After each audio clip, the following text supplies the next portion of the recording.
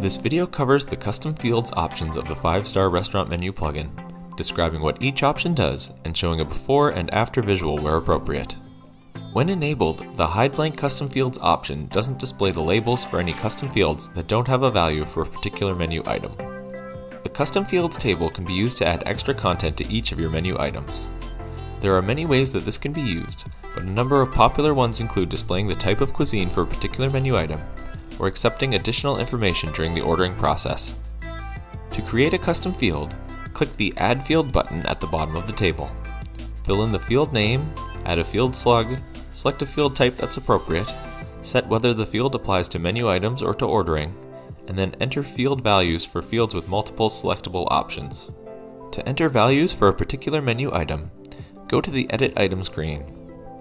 There you can enter values for each of the fields you create, or leave them blank if a field isn't applicable to a particular menu item.